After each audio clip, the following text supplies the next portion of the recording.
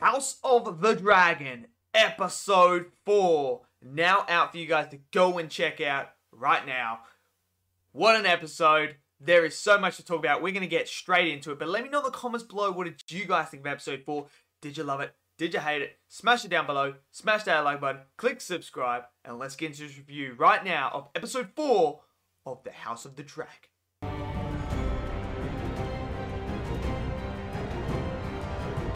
Okay, so episode 4 done and dusted for the House of the Dragon. This was an absolute another banger of an episode. They are just churning out high quality stuff every single week. It seems to just get better and better and better.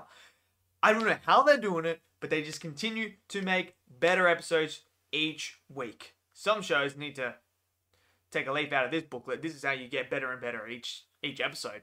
And they've done it again. So Again, it feels like we've had a bit of a, another little time skip here. Um, there is a remark here by, I think it's Daemon makes a remark about it being four years or something like that in these past four years. So we're four years in so far. Now we get the return of Daemon after the whole big war at the Stepstones. He's coming back, but we open up with Rhaenyra trying to find a match, trying to find someone to wed. And yeah, so that was funny, funny and fun. And then uh, the little kid absolutely just belts some fucking older guy who's just been an asshole to him, which I was like, fair play, absolute fair play. But then when she returns, we get the whole audience situation with Daemon returning as a hero, as a guy who just went to war and saved the Stepstones from the crab feeder. And it then goes forward from there on. And a lot happens in this episode regarding Daemon as he starts to make his power play. What is his end goal here? And he's moving chess pieces here and there to try and get to where he wants. And there's a moment where he takes Rhaenyra out to the streets, like undercover, and shows her what basically the free town is. And she doesn't really experience this because you got to remember she's more mainly trapped up in the whole kingdom and when she is outside the walls of the red keep she is actually still as the princess so no one wants to trifle with her or anything like that. But she goes undercover and stuff like that so she starts to see king's landing in a different light to what she normally is used to seeing, which I thought was interesting and it was great for her character as she starts to learn and Daemon starts to tell her like it doesn't matter who you wed. You can still do whatever you want. Like, he's showing her that and these desires and teaching her and telling her, like, you don't need to do what they want you to do. It's just there for political shit. Do whatever you want. It doesn't matter. And then obviously we start to get a little bit of a little bit of full Targaryen going on here. Where there's a bit of a play going on with Daemon and Rhaenyra there, but it Daemon stops it he does stop and then abandons her. So we got a bit of that Targaryen stuff that they are known for, as we know in their whole bloodline. That that stuff happened in their household. So I mean, they were literally trying to wed, like, what is it? His sister's, the king's sister's. Uh, I think that that's sister, sister or cousin or something like that. Trying to marry twelve year old daughter who is related to the king. So I mean, you can't really like Daemon and that doing it. It's kind of like, well, you did just try to do that.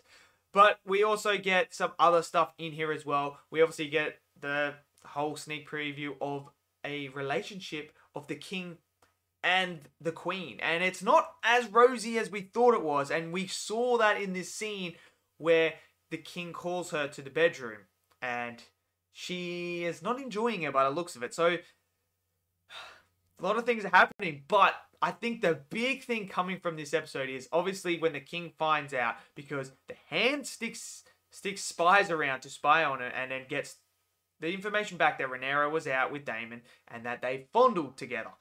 And he refers that to the king.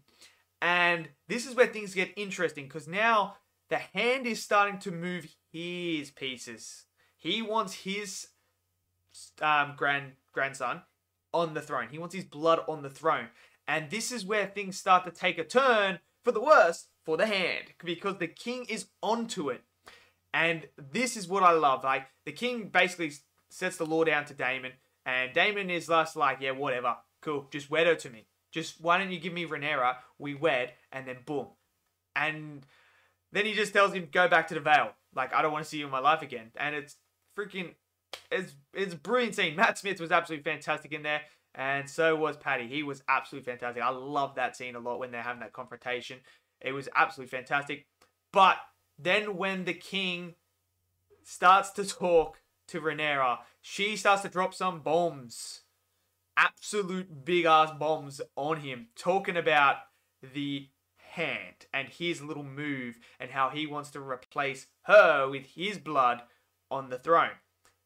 And the king's already had that confrontation with the hand and saying, like, I, I, I don't know. I don't know if I trust you because you're making these accusations about my daughter.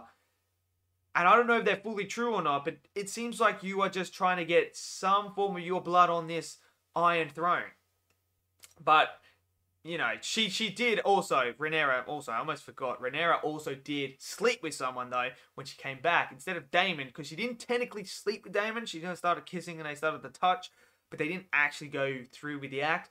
But she does sleep with the knight, Sir Criston, which I kind of figured she would. She kind of has the little hots for him as well. So that was kind of, I kind of expected that, but no one knows about that.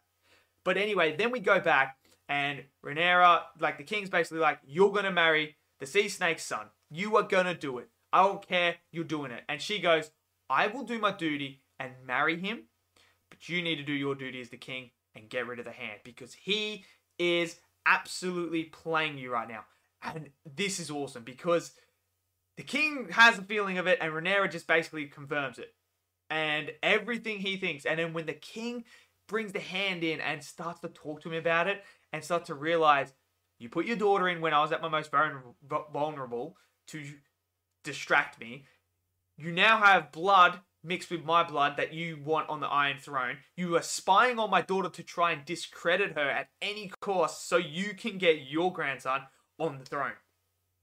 You are moving things, and then he tells the story about the five days when his father was really, really healthy, and then all of a sudden, five days later, died, and then next thing you know, he's the hand. He's gone from basically a nobody to the second most powerful person in five days. And he picks up on that and he takes the hand away from him. He's no longer the hand. Otto is no longer the hand. Who will be the new hand? I don't know. But man, we have had some big things. So what is going to happen with Daemon now moving forward? What is going to happen with Rhaenyra? What is going to happen with the new hand? Who will it be? And what will happen when the secret with Sir Criston and Rhaenyra getting together come will come out? I'm very, very intrigued and what's going to happen with this wedding. Ah, there's so much that could happen. I, I'm so excited for episode 5. Cannot wait. This episode was absolutely fantastic. I am loving this right now. I am loving it. And again, we got another reference to the prince that is promised with the dagger. And the his song will be Fire and Ice. Another reference to Jon Snow. So it's kind of like, it, it's all there. It's absolutely fantastic. Uh, I'm loving it. Absolutely loving it. So let me know in the comments below. What did you guys think of this episode? Did you love it? Did you hate it? Smash down below. Smash that like button. Click subscribe. And I'll see you guys next video. Till then, stay safe. Peace out.